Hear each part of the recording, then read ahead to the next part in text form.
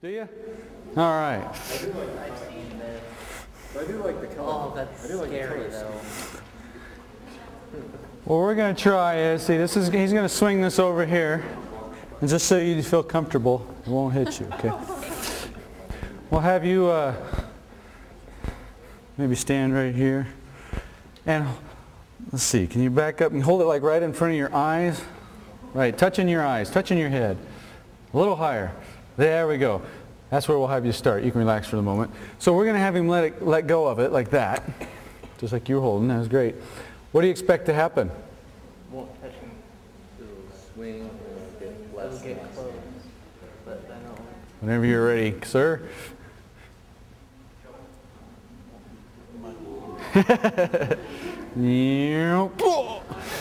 no flinching whatsoever. Good job. you done this before? I bowl a lot, so I'm He bowls a lot, so he wasn't worried. Thanks. I won't ask him to do this one, although it looks like he'd be just fine. Uh, this, if I let you let just let go of it, what I'm trying to emphasize, energy is conserved, total energy, total net energy. So whatever energy this has to begin with, it's not going to magically pick up more energy and come back higher than it started with. The only way for that to happen is if I do work on it. Remember work causes a change in energy? So if I give it a little push, whoosh, then do I want to stand here? Heck no. Okay. but uh, without any extra energy, oh, here, let's go up here. Excuse my uh, hiney. I still probably flinch. Let's see.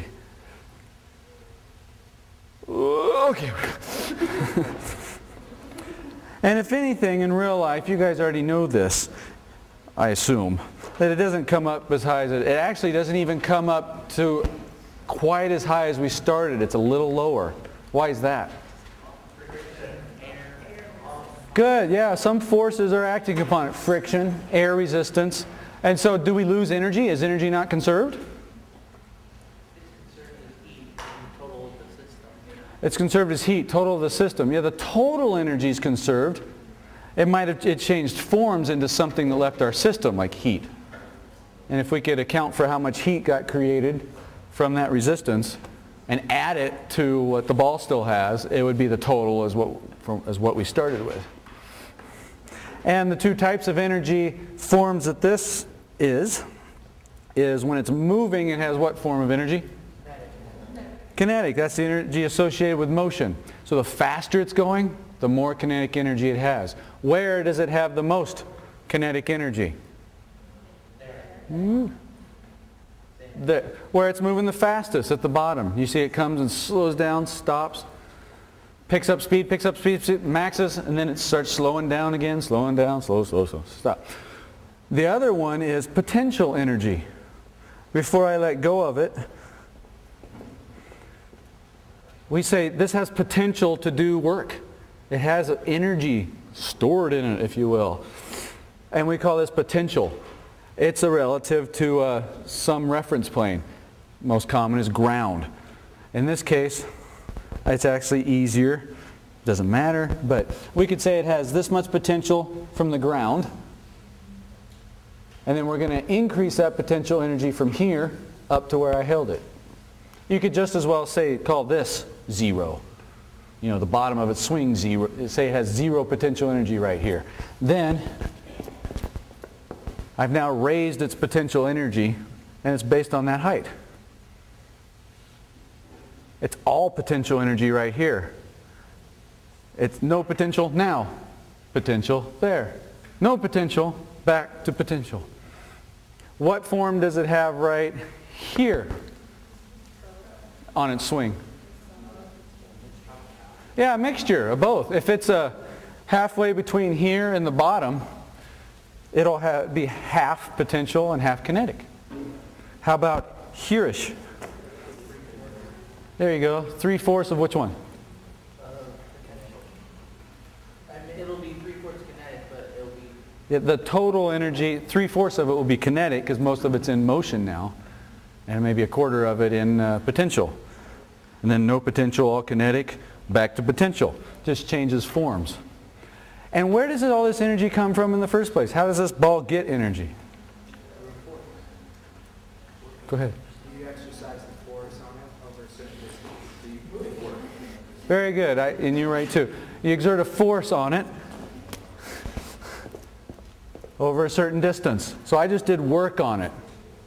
Work's not a form of energy, but it allows me to change the energy of the object. I did work on the ball. Very good. What's doing work on the ball when I let go of it? Gravity. See, you guys, this is good. You guys good. All right. Some other uh, quick examples of energy. We could say this is potential energy of zero, kind of the, the equilibrium reference point. If I displace it, whoosh, it now is a distance away, and we could say there's potential energy stored in the spring. Because you know what will happen when I let go of the spring, don't you? I do work, force for a distance. whoosh, I let go, and the potential energy in the spring whoosh, makes it oscillate. It overshoots. Why does it overshoot? It doesn't like go right back to here. Right. When I let go, it doesn't go and stop. How come? Yeah, inertia. Things in motion want to stay in motion. Or now you can think it has momentum, inertia in motion. And so it's going to take a force or an impulse force for a certain amount of time to change its momentum. And that takes a bit. So it overshoots. Eventually it can make it come to a stop. But now you have energy stored in it this way. And it's gained gravitational potential energy. You could call this elastic potential energy. And you call that gravitational potential energy. But it, it switches back and forth. And it has kinetic too. Right here, if we say that potential is zero right now, then whoosh, we increase the potential. Where is it moving the fastest? Top, bottom, or middle? Here, here, or in between? Where's it moving the fastest?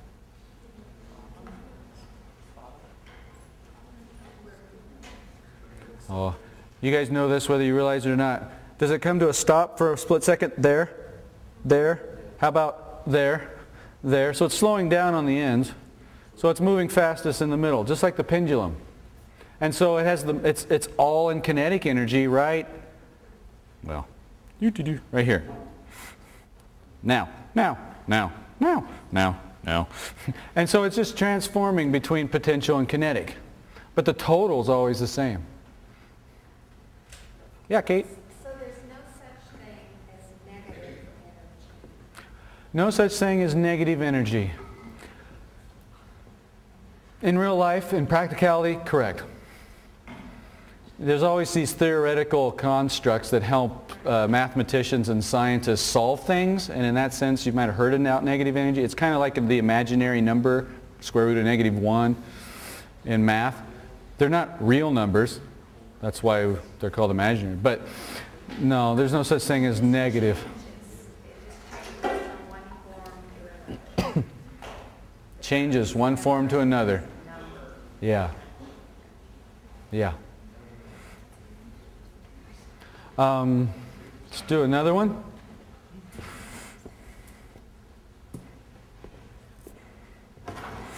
I'm going to do uh, four. Uh, okay, I'm going to do work on this block to raise it up. Force over distance. There we go. It now has what form of energy? Potential. When I let go of it, it converts into kinetic. Yeah, potential decreases and the, the potential decreases and the kinetic increases. I did a force for a certain distance. How much force do I need to apply to this to raise it up?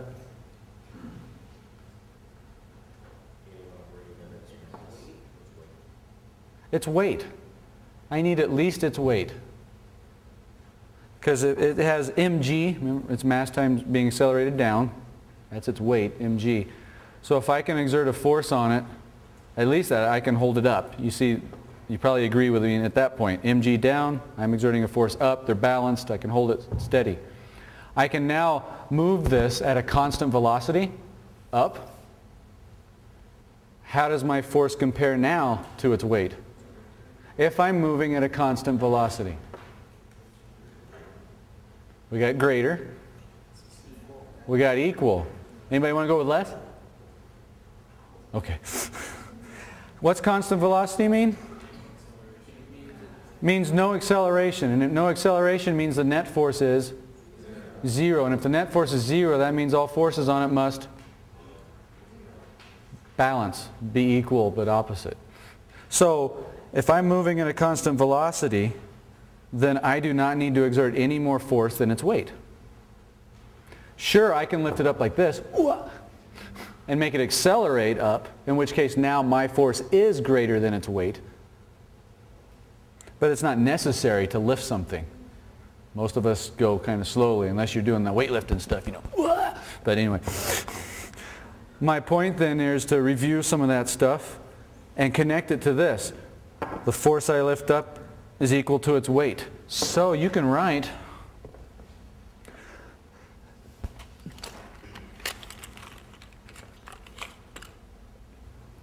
Guess I'm not getting to that yet.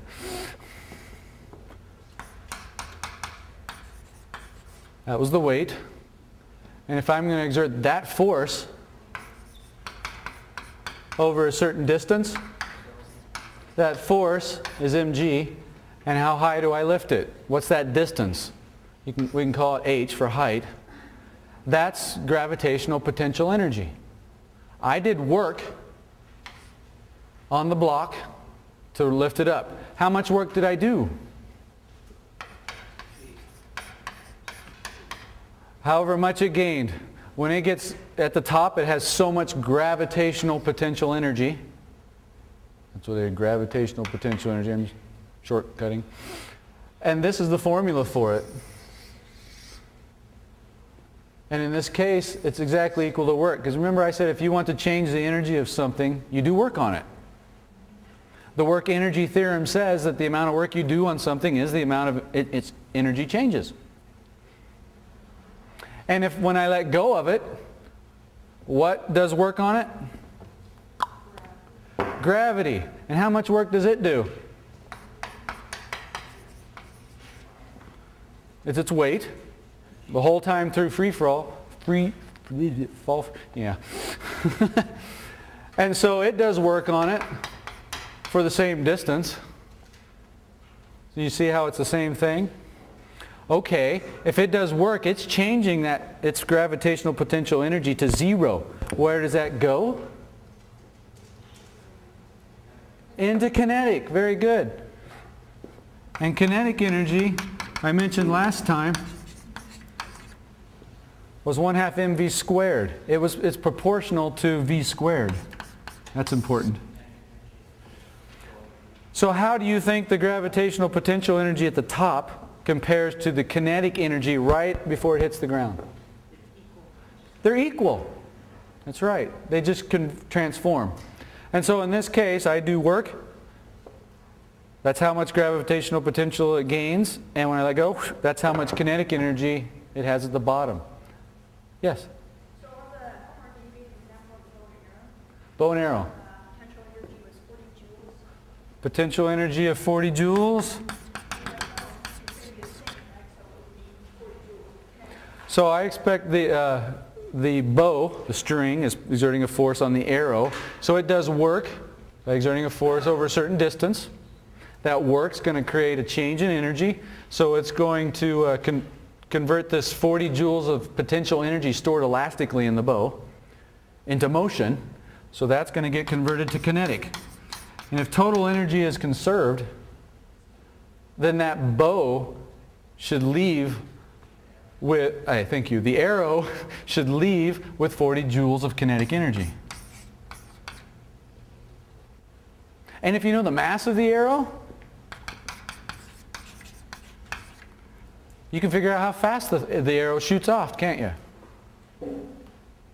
You would solve that for V if you knew the mass, or vice versa. Same with the block. or ball. If I know how high up I raise this, let's say I raise it a meter, and this is 100 grams. Let's do it. It's gravitational potential energy, 100 grams. So that's 0.1 kilograms, oh, standard units here. Uh, gravity of 10 meters per second squared, and it's one meter up relative to the table. So we'll call this zero point up here. We would say it has one-tenth times 10 is one, one joule. This has one joule of energy, gravitational potential energy. Joule is the unit for energy, which is the same thing as a Newton meter. That is true. Is that right? Force? Yeah. Another way to remember that, that how, this is how I remember it. Work is in the units of joules. Force is in newtons. Distance is in meters. So we just, I did it wrong. Or I, or I wrote it wrong. and that's a way to check myself. Work has the units of joules because it just transforms energy and all forms of energy have the unit of joules which is a Newton meter. Another way to think of it. So back to the ball, it's got one joule. How much kinetic energy will it have right at the bottom? And that's because energy is conserved. So the kinetic energy, 1 half mv squared. The mass was 0.1 kilogram. V 1 joule. Get out of the way.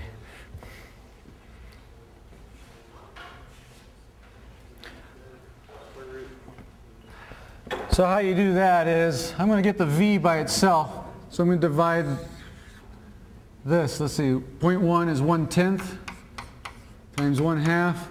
So that's 1 twentieth. Divide it over, and you get 20 equals V squared. Be honest, did anybody, did I lose somebody? What?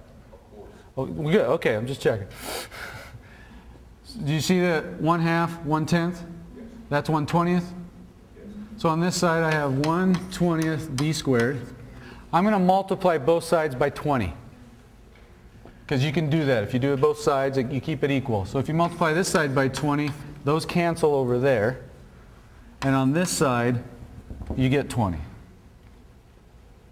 Yay, nay? okay. That just left the v squared over here.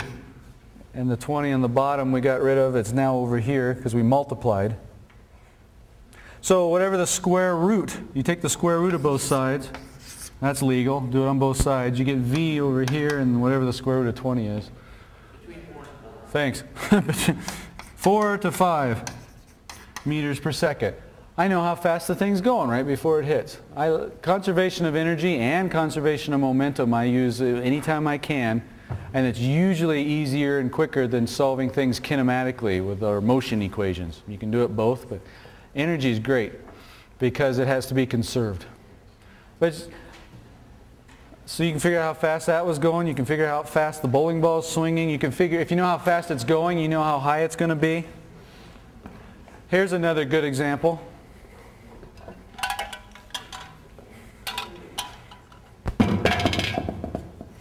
The loop-de-loop. -loop. The roller coaster ride at Lagoon. It's great. You know, they, they are based just on this principle. That's how they work. They try to make them safe, of course, and there's a lot, that's more what the stuff's involved about building one. But what you do is you go, you start over here, and you, after you stood in line for two hours, and you, what are they doing? They're using a force to lift you up, increase your distance. They're doing work on you. Why? Because they want to change your gravitational potential energy. Okay, you get up here. And once you're up here, all they have to do is let go. They don't have to have to propel you anymore. Because gr- Earth acts on you, gravity. And your gravitational potential energy pulls you down. It turns into what? Kinetic energy. Right here, what's the potential? Zero. It's all in kinetic. You could determine how fast you're going if you know how high you started and your mass. Well, then it's, you start going back up. Do you slow down or speed up? Why?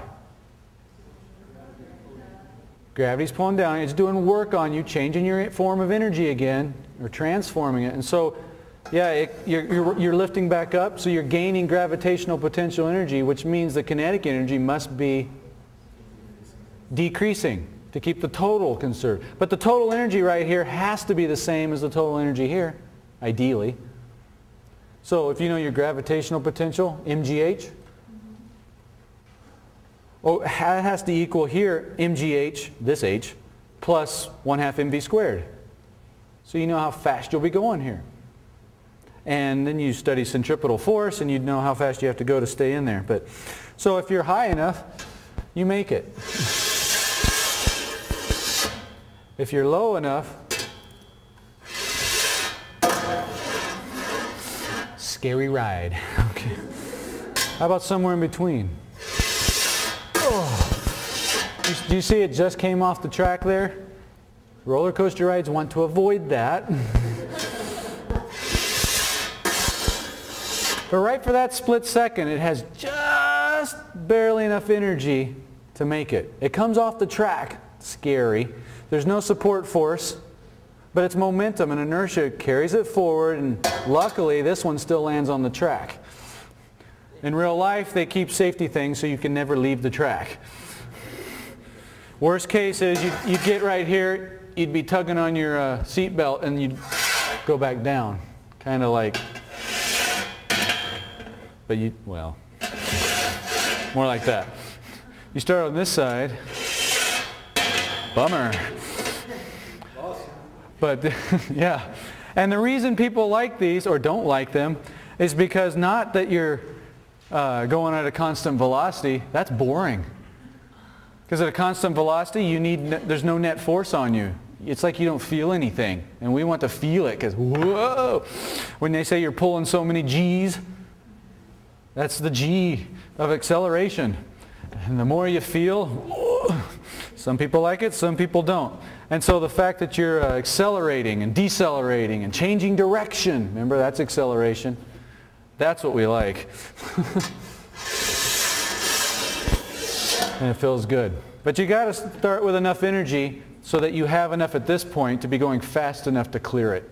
Total's the same here as it is here, as it is here, as it is here.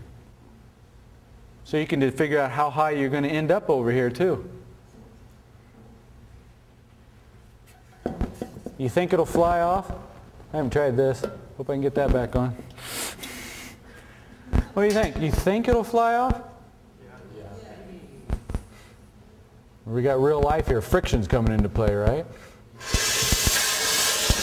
Oh! So here's the beauty. We use it as a feature. Total energy is conserved. We've been talking about gravitational potential energy and kinetic. Clearly, if we just look at those two, something seems to be lost. It got converted to heat by the, the force, the work done by friction. Could we figure out how much? Yeah.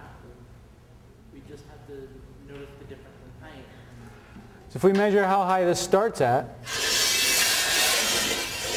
and it gets to here,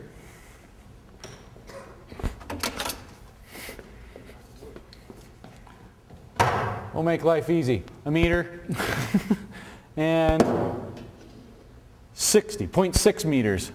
You know, I don't even have to know what's going on in the middle. I just know that, hey, if total energy was conserved, it should have ended up at the same height.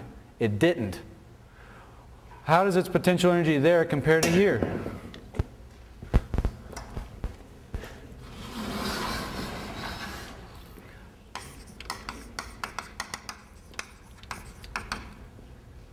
I don't know what M and, M and G, I know them, but this height we'll call one meter. The second one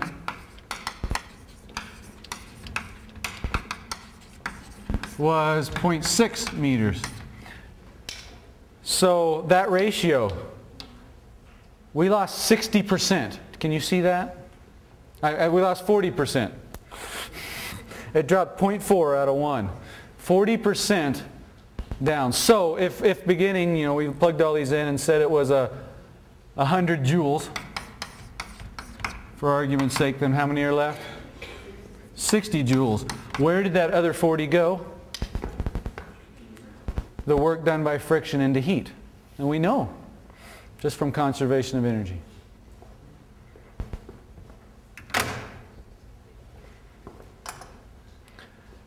Um, let's do this one. Then I'll ask a few questions, uh, more questions. Oi.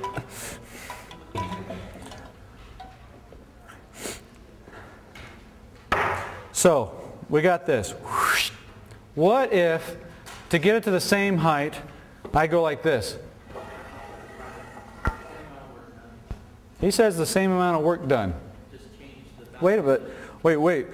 Work is force times distance. I just, is this a longer distance? But it's less force. That's correct. This I have to overcome all of its weight. Here, the incline helps support it, so I don't have to push it with all of its weight. The force I apply is a little less than its weight. Do you see that? Because the incline's helping me hold it up. So yes, I don't need as much force. F is smaller, but D gets longer. And it does work out that the work ends up being the same. And if you're confused about that, think of it this way. When it gets here, how much gravitational potential energy does it have, whether it came up the ramp or I just lift it up? It's the same. It's the same height. It should have the same gravitational potential energy, right? So it doesn't care how it got there. The work doing it this way is the same as the work doing it this way. But say this is a grand piano. Can you lift a grand piano straight up to the second floor? I can't. Ennis, you look, you look strong. but it's not wise, is it? Let's do this so it can stay put there. So what, I, what we like to do sometimes or use a ramp to get it out of the truck or up to the second floor. We use stairs, which is like an incline, sort of. Well, now I, I have enough force to push it because it's less. I don't have to overcome its whole weight. But I do have to go farther to get to the same height. If I had to get up to here, a meter up, my ramp's going to have to be pretty long. Do you see that? And if you, if you still can't push it, make your ramp uh, down, less of an angle. It means you have to push it farther, but at least you can do it now, right? You still do the same amount of work. It just, uh, you have to do it for longer distance.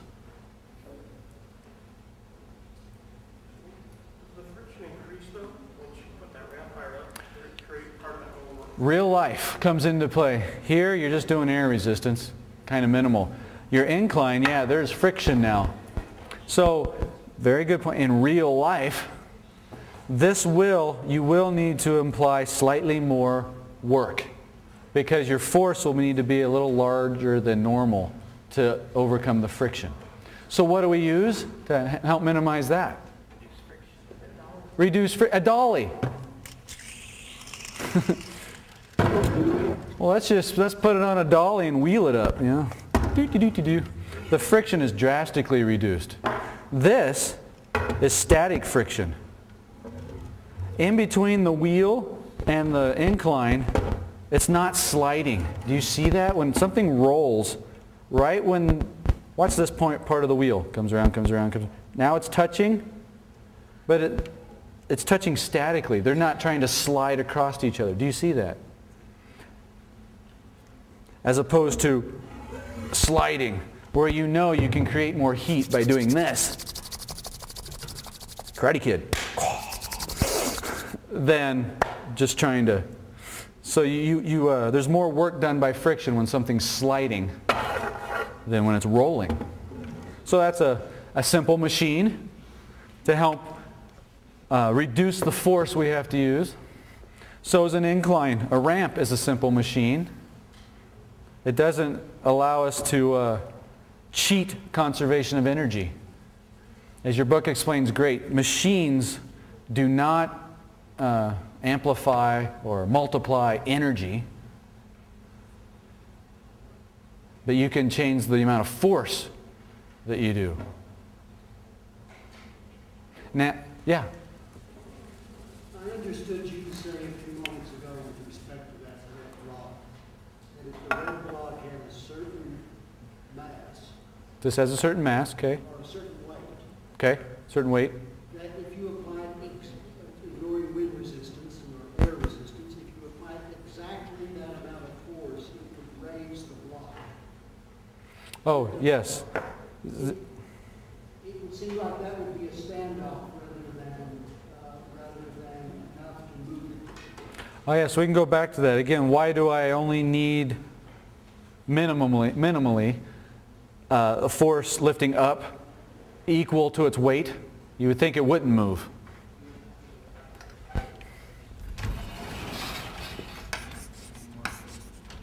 Force of its weight is mg, yes?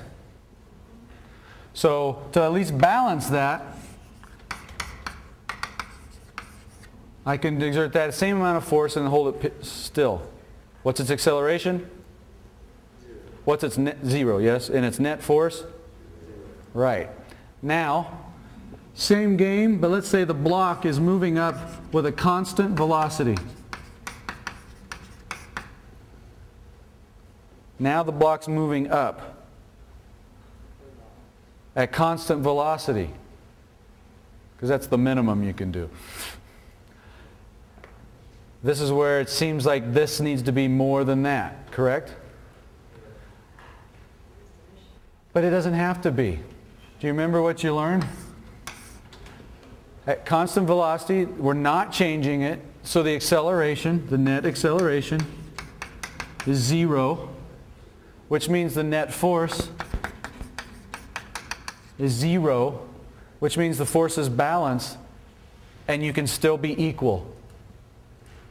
To get it moving in the first place, remember that elevator? To get this block moving from zero up to this velocity, you must apply more force than the weight for that split second or at the beginning of an elevator ride. And you do do that. But very quickly, you can get it to constant velocity. And so while it's moving, they can be balanced. And that's all you need to keep it moving. Because inertia takes over, and it'll keep moving at that constant velocity until um, you change the net force to something non-zero. Does that help? And, and, and, and the reverse is true. When I stop it, I will have to uh, spike this force. I'll drop that. This one will win. And, and now there'll be a net force downwards to change its velocity and decrease it to zero. So it stops. So at the right at the beginning and the end, you can do it. And of course, you can do more throughout the whole thing, but the minimum amount you only need its weight. So if you're taking into consideration spikes at the beginning and end, it ends up averaging out. If you take it at the beginning and the end, yeah, things average out. Because once you're at the top, it still has MGH, gravitational potential energy, and it didn't matter how you got there. It's easier for, uh, us to think that the average force was the same all the way. But I could certainly, I gotta do it higher. Start fast, slow down. I can even go like this. Slow. Okay. It still has the same gravitational potential energy at the end. So it seems like I did more work on it, doesn't it? Not in this direction. The work is the force in that direction. I, and vertically, end result, I only moved it from here to there. You may take that. Which leads me to this question. Clicker time. I probably, oh, it didn't turn off.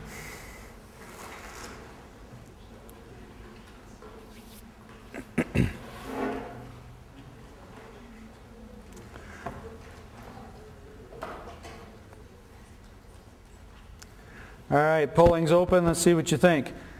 You push on the stationary brick wall for several minutes. We discussed this last time. Let's see what you remember if you're putting this together. You do no work on the wall at all, or you do do both or nothing. What happens when you're pushing a wall that doesn't move?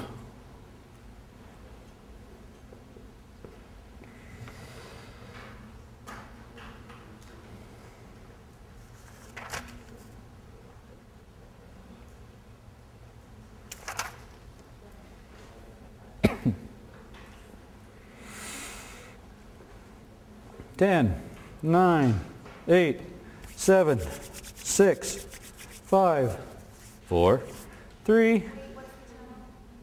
Channel 44.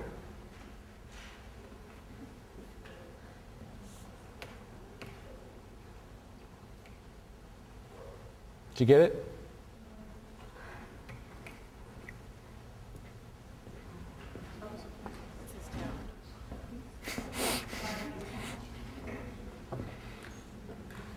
Three, two, one.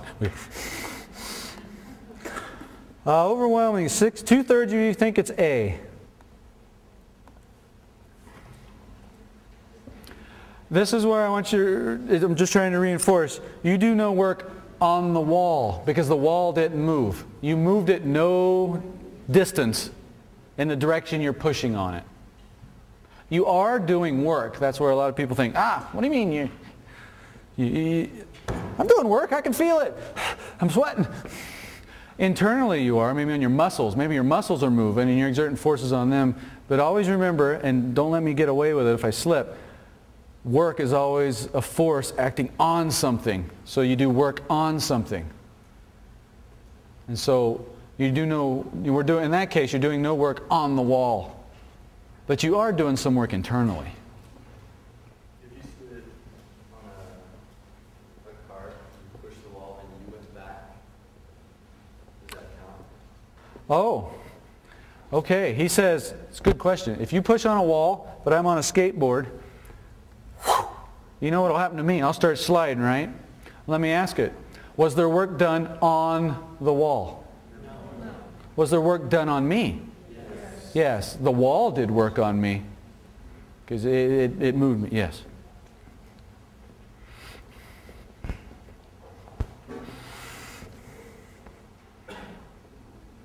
All right? Go. Work's done in lifting a barbell. How much work is done in lifting a barbell that's twice as heavy, but the same distance?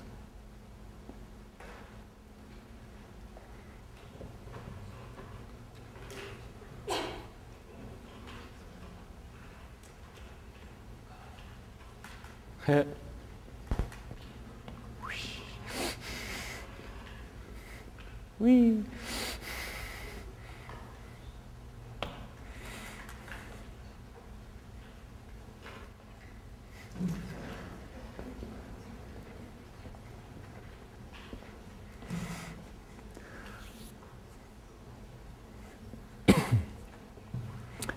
Ten, nine, eight, seven, six, five, four, three, two, one. Whoa, 89% A.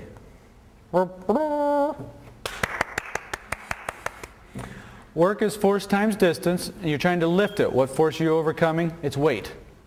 So if its weight doubles, you're going to need twice as much force and thus twice as much work to have the same effect. What if you lifted it faster and forced uh, the mass increase velocity? I'm glad. What if you lift it faster? Did, does anybody think it's not the same? So we're, we're doing the same thing, but let's do it faster. Work is force times distance, correct? It says nothing about how long of time it takes. So it's the same work. Think of it. It gets to the top. It has the same gravitational potential energy. How it get it? The work you exerted on it. Doesn't care how it got there or how long it took. So the term that we use for that is Power. Power is how fast, the rate at which we use energy, or the rate at which we do work. Work changes energy. So think of it as work over time or change of energy per time. That's power. So which one would have more power? Going slowly or quickly? Quickly. Because you're doing the same amount of work, but in less time. Time's in the bottom. It's inversely proportional. You know this, because which one are you going to be breathing heavier at the end? You know, do do do do do do do. Well, maybe, maybe a, that's a bad example because if you can't lift it in the first place. But I, it still holds. Whether I lift this up like that, and I can just keep doing that. That's just uh, do. I could probably do this for a while, but this, I won't last as long because I'm exerting more power. And getting dizzy. Okay. So I'm changing the energy the same amount, but I'm doing it more quickly. That's power.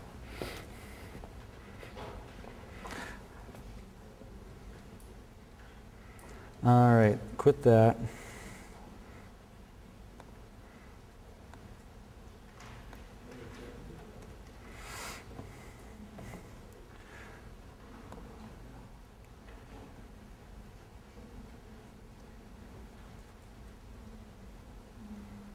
That was the right one. okay.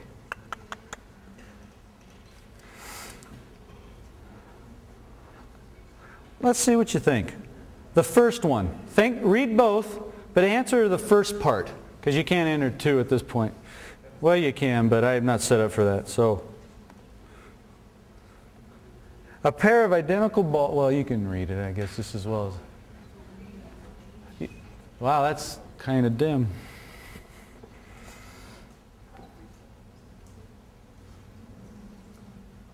That didn't help.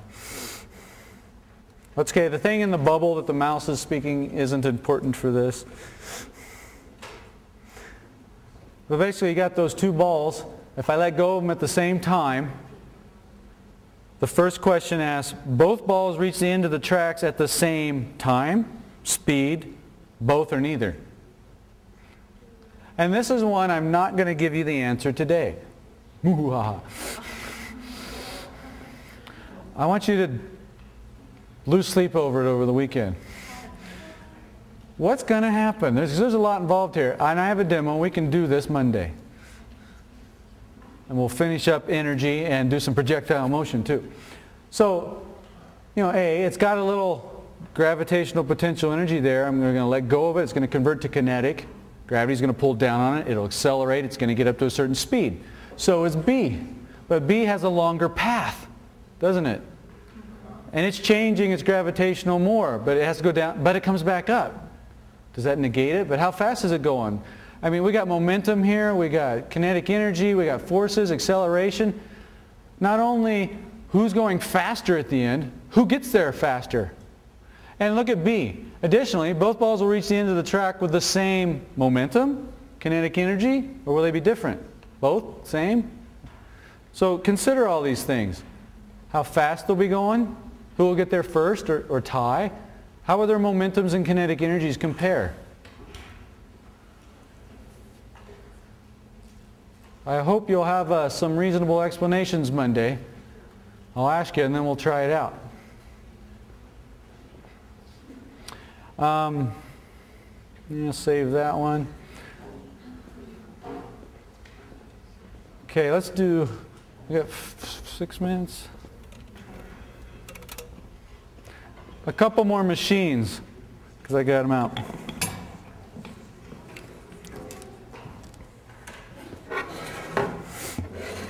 A lever is a simple machine. And so here's a 26 pound lead brick that we used earlier. It's a, it's a different one, but I'm going to raise it to here. And I'm going to go.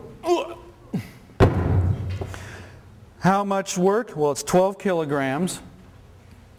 It's mass times gravity, 10. 12 times 10 is 120. And I'm going to move it that far, so 120 times that. a tenth of a meter. 10 centimeters, a tenth of 120, 12. Okay, I did 12 joules of work. It has how many joules of gravitational potential energy? 12, good. Well, that I have to exert 120 newtons of force to do. 12 kilograms times acceleration of gravity 10, 10 times 12, 120. You with me? Well, I don't like doing that. I'm going to use less force. Piece of pinky. All right. I hope it's clear that I'm using a lot less force than 120 newtons to lift that. Same effect.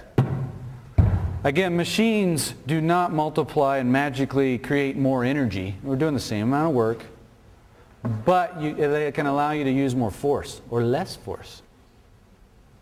Depends on which way you want to go. Sometimes, you know, I get more force over here, I have to use less. Why is that? Well, it's a lever. This is a shorter distance. This is a longer distance. Notice I must move, I must exert my lower force for a longer distance. So I'm doing the same amount of work over here as, it, as that end's doing, but I don't need to as much force. I just have to do it for a longer distance. That's what ramps do. And check this out. Ow. Here's a, a mock of a screw. What's a screw? It's just a, an inclined plane wrapped up on itself. So you, just go a lot longer distance with a lot less force for the same amount of work done. And the last thing I'll do is this one. I need a volunteer, please. All right, sold. Will you sit on this, balance yourself, and face the audience? Please. Sucker. this is a screw jack. You got a good balance game there going. You, comfy? Okay. Can, can you raise your feet up or will you fall off? All right, but I- that'll kind of work.